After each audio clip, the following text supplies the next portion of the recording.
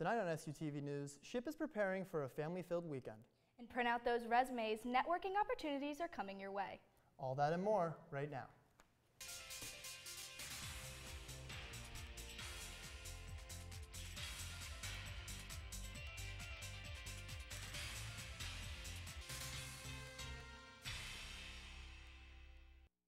Thanks for joining us on SUTV News. I'm Jake Rom. And I'm Katie Swigert. Wi-Fi and a bathroom break, a great combination for active Shippensburg students. You've noticed the building under construction at the trailhead on North Earl at Fort Street. If you haven't, all the more reason to stop by and check it out. Construction began on the Comfort Station in May, and workers are in the final phase of the project.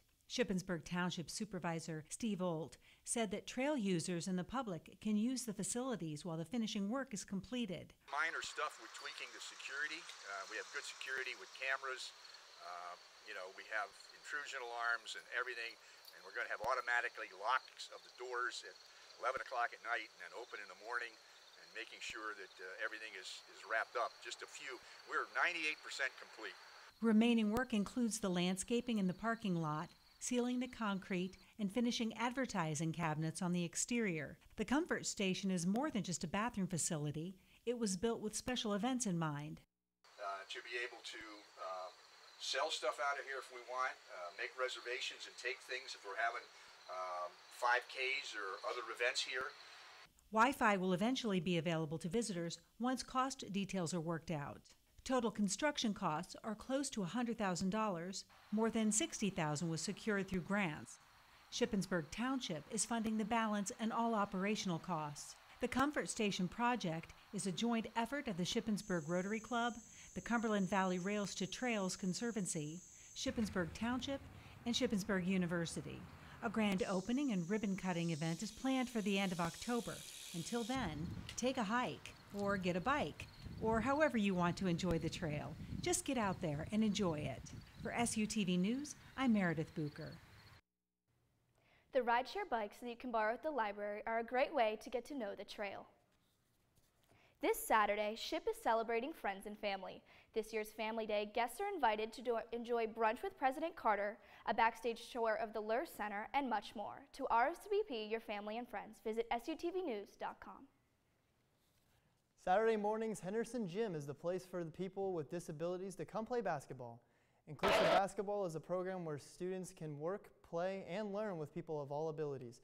At the start, the goal was for the social work and gerontology departments to gain experience working with community members who have a disability. It has since expanded to include students participants from all majors, many coming back year after year.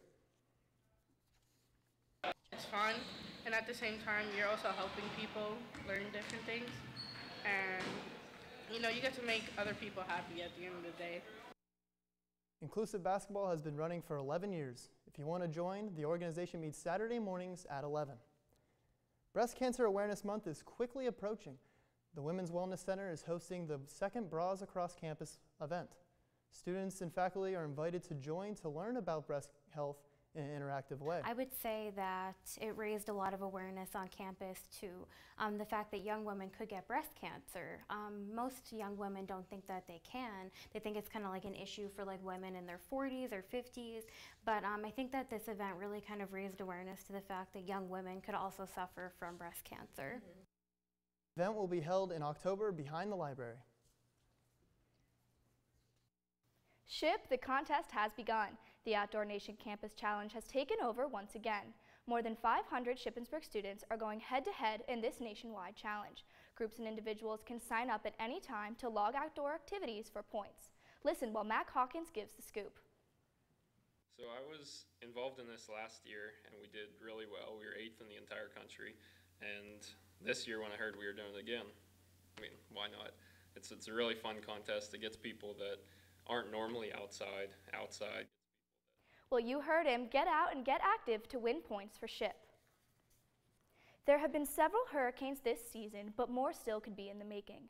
Maria may not be the last hurricane, with the U.S. only halfway done with its hurricane season. There's a pretty good chance we'll see some more hurricanes, or at least some tropical storms that get named.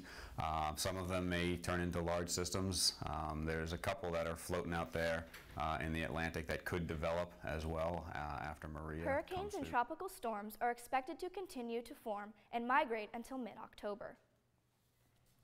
The Shippensburg University Career Fair is coming to campus on October 5th.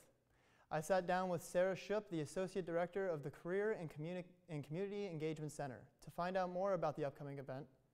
Different employers and organizations have a table where they're advertising for open positions. And for this event, they'll mainly be advertising for full-time, internship, and part-time opportunities. From 12:30 to 4. For more information, go to ship.edu/career and click on the upcoming events tab. This week is Resident Assistance Week. We caught a glimpse of what it's like to be an RA on campus. Sean Rapp has the story. Bailey Albert is a senior communication journalism major and is one of the RAs for McCune Hall. She is part of the Student Media Living Learning community in McCune. LLCs are groups of students sharing social and academic interests. The Student Media LLC staff gives weekly seminars about being involved in the field. And anyone can be a part of it. They don't just have to be in the certain wing. Um, anyone can join it. There are many responsibilities involved with being an RA. To be able to give them resources, whether that would be, hey, I'm failing this test, I need to go. Like, where should I go? While being an RA may look easy, it certainly has its challenges. RAs provide a variety of services, from helping locked out residents to dealing with roommate conflicts. RAs have rigorous training to prepare them for their job. Each day is something different. Like, one day you'll have diversity, and that teaches you all about being diverse and not just like race, but gender and sexism and ageism. RAs also have to go through role play training where they deal with real life problems they may face in the dorms. Another day will be suicide prevention, and like that's a really heavy day. And then another day it can be about how to do a roommate conflict. One of the biggest challenges RAs face is time management. I'm also a student, and I'm also a daughter, and I'm also a friend and a worker at a different job. But time constraints don't keep RAs from making connections with students. And it's just really interesting that in just a short amount of time you have 34 new people in your life that you can communicate with. Being an RA can even help you out with future employment. It looks really great on your resume. It because it shows that you know how to communicate with people, you know how to problem solve. All in all, Albert enjoys being an RA. It is a roller coaster of emotions. It's um, one minute you're like doing a lockout, and the next minute you're going to class, and the next time you have a meeting. But all in all, If you are interested in learning more about an RA position, head over to SHIP Career Connection page on ship.edu. And if you would like to, be, to join an LLC, go to ship.edu slash living learning community. Shippensburg University's Public Relations Student Society of America will be hosting an event, Ethics in the Professional Field. There will be two professional public relations guest speakers. Robert Saline, founder of PR Works, specializes in brand and reputation development, communication research and strategy, and crisis communications. Jason Kirsch, adjunct professor at York College, specializes in marketing and public relations. PRSSA President Caitlin Wilson organized the event. We want marketing students to come. We want business students. We want uh, we want others besides PR majors to come because ethics is so important in any sort of job. The event will be held next Thursday from 3:30 to 5:30 in the Orndorff Theater. Please come dressed business casual. When we come back in world news, tensions heighten in Kenya after a re-election. Stay with us. The country is living in the dark after a devastating natural disaster. Here's Madeline with the world news. Maria, causing 100% power loss. Governor Ricardo Rossello stated that people have gone into survival mode. The amount of damage is still unknown and will remain that way until officials can do a flyover. The storm is now moving to the Dominican Republic. In Mexico, a 7.1 magnitude earthquake hit 75 miles southeast of Mexico City Tuesday afternoon. Over 230 people were killed after the powerful earthquake. Rescue crews raced to find a little girl who was trapped under the rubble of a collapsed school building. This is the second earthquake to hit Mexico in the same month. This also happened to be to occur on the anniversary of the 8.0 magnitude earthquake in 1985. In Kenya, the Supreme Court nullified the re election of the current president Uhuru Kenyatta. The vote held in August was deemed tainted by irregularities. The main challenger, Raila Odinga, appealed to the Supreme Court saying voting had, been, had not been conducted according to the Constitution. The Supreme Court ordered the new vote to be held in 60 days. In New York, the 72nd regular session of the UN General Assembly convened on September 12th with the general debate opening on September 19th. Agenda items include education, environmental conventions, and trade. The session introduces some new faces, including President Donald Trump, who brought his America First stance to the meeting.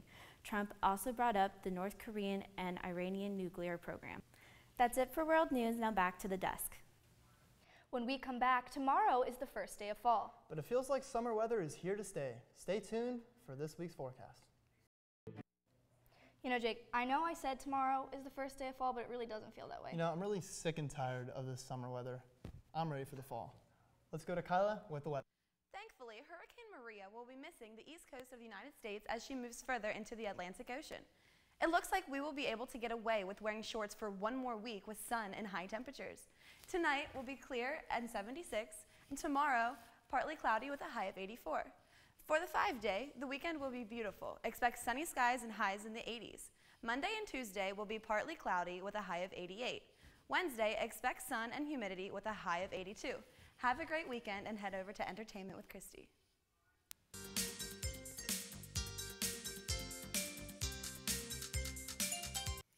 It's almost time for homecoming at SHIP. This year's theme is Ship is It. There will be a lot of fun events this year, starting with Bubble Soccer on Tuesday, October 17th, from 3 to 6 p.m. on the rec fields. Battle of the Campus will be on Wednesday, October 18th, from 4 to 6 p.m. in the Academic Quad. A lip sync battle will take place on Thursday, October 19th at 9 p.m. in Memorial Auditorium. On Friday, October 20th, from 8 to 9 p.m. in the shipwreck, a spirit rally will pump everyone up for the game on Saturday. Also on Friday, there will be a, sh a shipped swag bingo from 9 to 11.30 p.m. in the Cub MPR. Finally, on Saturday, a homecoming party will end this week from 10 to 2.30 a.m. in the Cub MPR. That's a lot of activities to celebrate homecoming. To see all the details again, go to sutvnews.com. Looking for inspiration? Think about your favorite movie. That's what rapper Drake did for his newest tattoo. He recently got a tattoo depicting Denzel Washington's character in the 1990 movie Mo Better Blues. This is not the first time the rapper has inked celebrities on his body. He already has Lil Wayne and Sade, among others. Kevin Hart, comedian and actor, faces bumpy roads in an extortion case. An anonymous person attempted to blackmail Hart and expose him for cheating. The anonymous person demanded money, threatening to release video evidence. Fighting back, Hart took to Instagram and apologized publicly to his wife and kids for his mistakes. The case is still being reviewed by officials, and Hart now focuses on mending broken ties. That's this week's entertainment. Back to you guys at the desk. Thanks, Christy. When we come back in sports, SHIP's football team keeps their winning streak. And a SHIP field hockey player takes top honors and traveled a long way to get